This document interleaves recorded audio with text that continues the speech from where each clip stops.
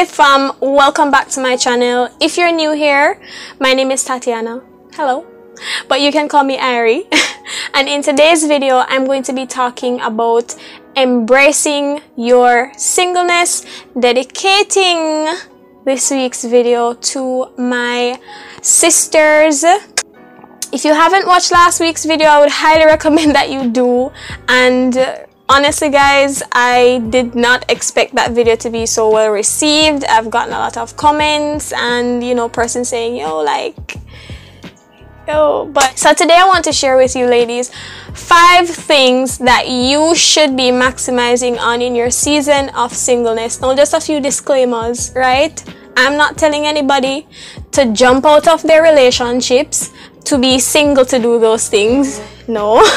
a lot of what I'm about to tell you is achievable while you're in a relationship, a healthy, godly relationship.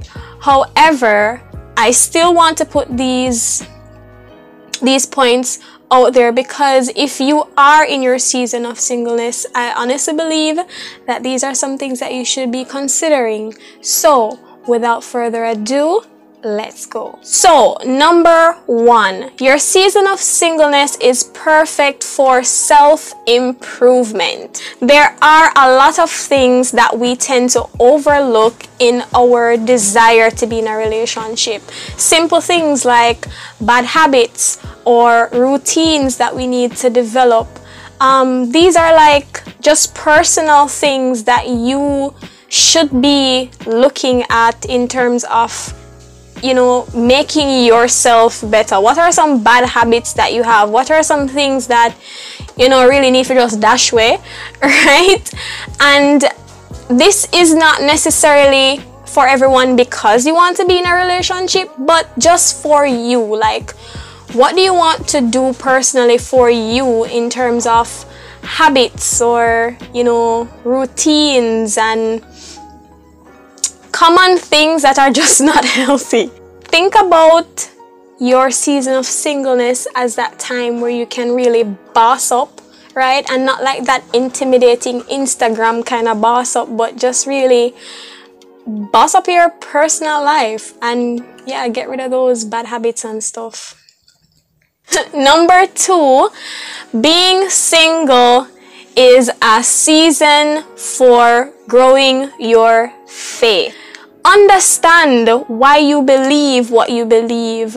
You know, use this as this time where you can really seek God. Do you need to improve certain things like fasting or your prayer life?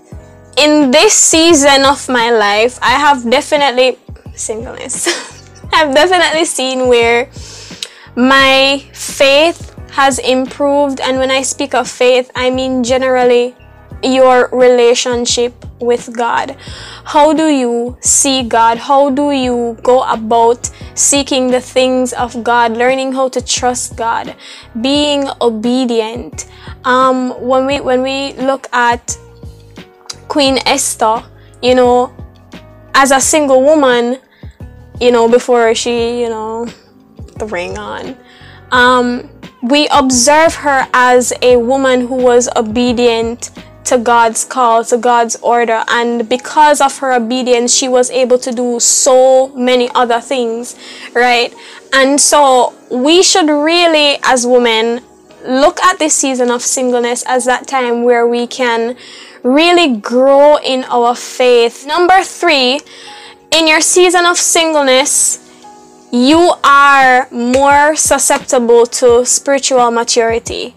And this somewhat ties into number two, but I really just want to add that as you begin to grow, you will start to see fruit. You will start to get a better understanding of where God wants you to go.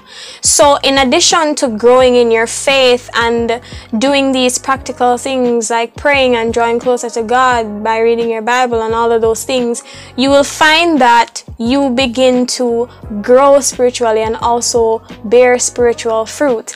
And you can use these fruits to help somebody else. In this game called life, we all play a part of somebody else's life. And so I really believe that in your season of singleness, as you're being groomed, as you're being transformed, and it doesn't have to look like this light coming out of the sky kind of thing but the day by day step by step opportunity that you have to spend time with God and have him prune you and nurture you and grow you so that mm, I feel like preaching when Boaz ha sees you in that field gleaning you'll be ready. Do not be afraid to use this time and really lean into God fully, like a hundred percent. And this doesn't stop when you go into a relationship, but you will step into that new phase with a, a, a mature mindset or spiritually enlightened, spiritual maturity. The time is now. Number four, your season of singleness is perfect for achieving your personal goals. And when I say personal goals, I mean that business that you want to start, that channel that you want to start, that that that blog page that you want to put up, your personal dreams and aspirations that you have for your life in terms of a career or something that you always wanted to do. And again, I'm not telling anybody to, you know, like, I'm not telling any young woman to like break up with your boyfriend because you want to start a YouTube channel or you want to, you know, really get that career path going. I mean, if God tells you that, then that have to go on. Sometimes that have to go on, right? But get it clear. This is a time where you can make some boss moves when it comes on to your your career path or your your the personal steps that you want to take in your life. Because if you don't do this and you step into a new atmosphere like being in a relationship or getting married that opportunity span is going to decrease drastically. Because like it or not you will have many times um, to compromise or you know worst case scenario find out that you have to put your dreams on the back burner right? And that's not fair. Let that compromise come at a better time when you have an understanding or you already have your foot in the door. Don't say that you know when i get married i'm gonna start working on opening up my school or my dance studio. No, sis, get the ball rolling because at the end of the day, you don't want to regret not using this opportunity. And then you start coveting your singleness and then you start your husband body eye and all of those things. So, yeah, now's the time to really maximize on the opportunity to achieve those big goals. Start making moves towards those big goals.